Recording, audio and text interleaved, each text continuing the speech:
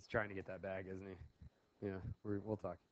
All right, uh, so here we are, 5.5, uh, day number one, linear regression.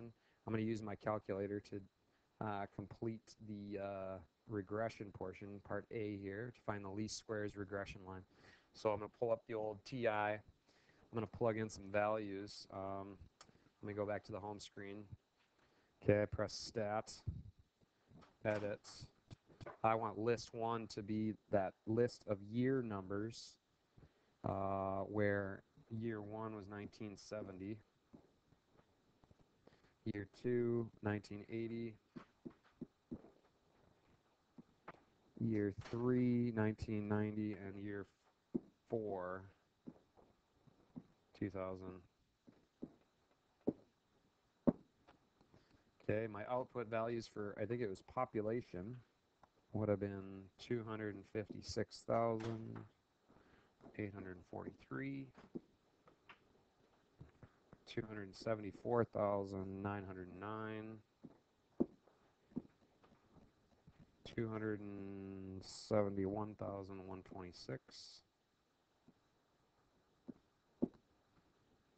and the last one was 284,664. Okay, so I've got my values inputted here. I want to find the least squares regression line. So I will press stat again, go to calculate, go down to option number four, linear regression. So list one will be my x values, list two will be my y values.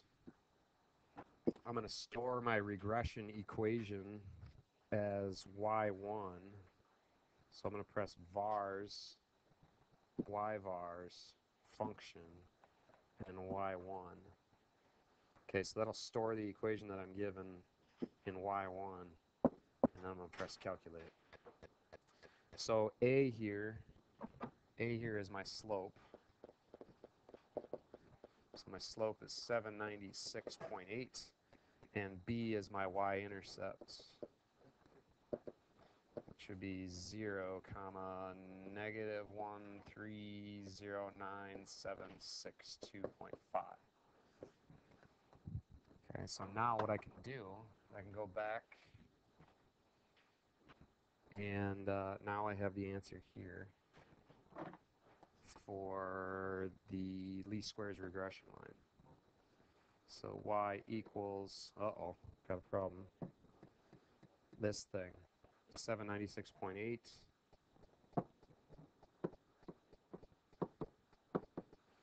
minus, oh, that ugly thing. 1309762. 1309762.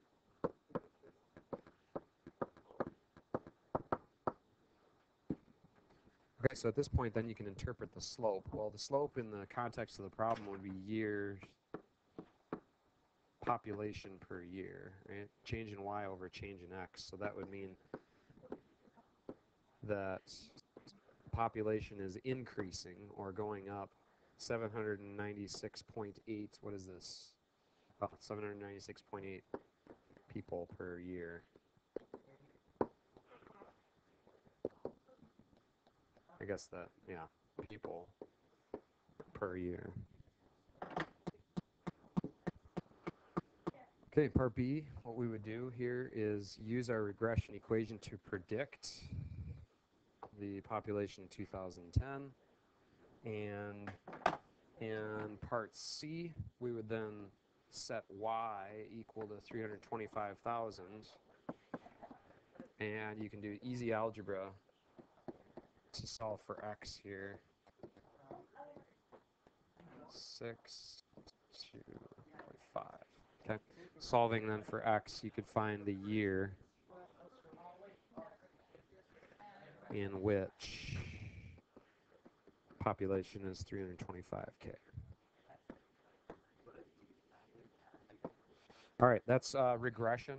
Um, uh, one other way that you could do this if you wanted to, it'll change your regression equation a little bit, but it won't change your output values in B and C, is if you wanted to, you could call this 0, you could call this 10, you could call this 20, you could call this 30. uh, just to keep the numbers a little bit more manageable. All right, that's 5.5, day number one on linear regression. Got a couple of examples you can do. Enjoy your quiz, and good night.